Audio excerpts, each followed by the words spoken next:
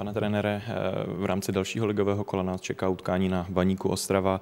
Jaký zápas to pro Spartu bude, jak důležitý je? Tak očekáváme náročný zápas, tak jako pokaždé, když hrajeme proti Baníku, tak jako pokaždé, když zajíždíme na Bazali, nás určitě bude čekat bouřlivé prostředí a houževnatý soupeř. Jednoznačně nejvýznamnější postavou baníku je útočník Milan Barošek. Důležité bude pro výkon soupeře, zda nastoupí či nikoliv. Pro Baník to je eh, jednoznačně klíčový hráč, to jsme viděli eh, teď, když eh, Baník hrál v Boleslavi právě bez, bez Milana Baroše, ale popravdě řečeno, my se nechceme připravovat jenom na Milana Baroše. Připravujeme se na Baník jako na, na celek, jako na tým a, nechceme přihlížet k tomu, jestli Milan bude nebo nebude, ale je to pro ně určitě klíčový hráč. Jaký tým nás tedy v sobotu čeká na Bazalech?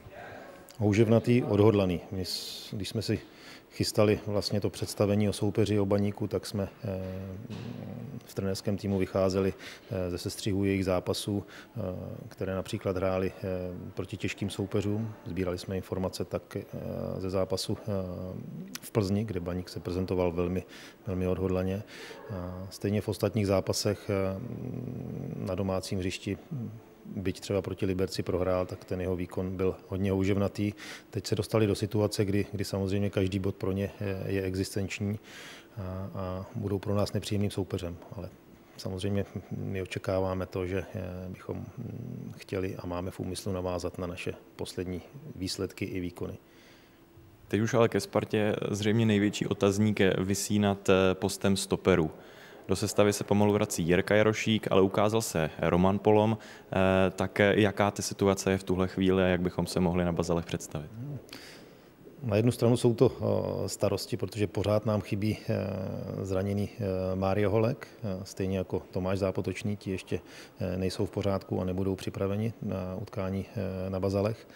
Ale pravda je ta, že Roman Polon se prezentoval velmi dobrými výkony, ať to bylo v derby před týdnem, nebo ať to bylo v pohárové odvetě proti Olomouci. Eh, nicméně Jirka Jarošík je, je také zpátky. Přivítali jsme to samozřejmě my všichni i eh, naši fanoušci a Máme před sebou dnešní poslední trénink, kde si definitivně eh, upřesníme a rozhodneme, který z těchto dvou hráčů nastoupí do středu naší obrany.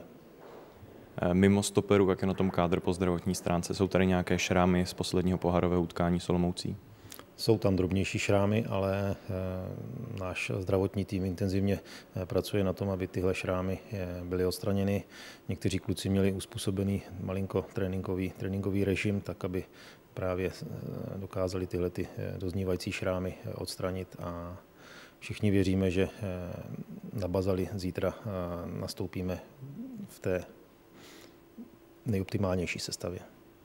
Vy už jste zmínil eh, skvělou atmosféru na Bazalech. Sparta je určitě velkým tahákem pro místní fanoušky, ale Spartané se budou moct eh, opřít i o vlastní podporu. Eh, Sparta vypravuje speciální autobusový zájezd a očekává se hodně fanoušků v sektoru, tak jak se na tuhle podporu těšíte a jak si, jak si vážíte? My jsme samozřejmě tohle slyšeli, doneslo se to i do kabiny a jsme za to moc rádi, protože každá podpora která s námi jede na, na hřiště soupeře, tak je pro nás hodně důležitá a hráči to kvitují. Zažili jsme to třeba naposled při našem eh, zápase eh, v Olomouci, kdy jsme hráli, kdy, kdy ta podpora našich fanoušků v hledišti byla, byla veliká. A přestože na Bazalech eh, pravděpodobně bude, bude převaha domácích fanoušků, tak tu podporu našich, našich fandů budeme potřebovat a, a vážíme si ji.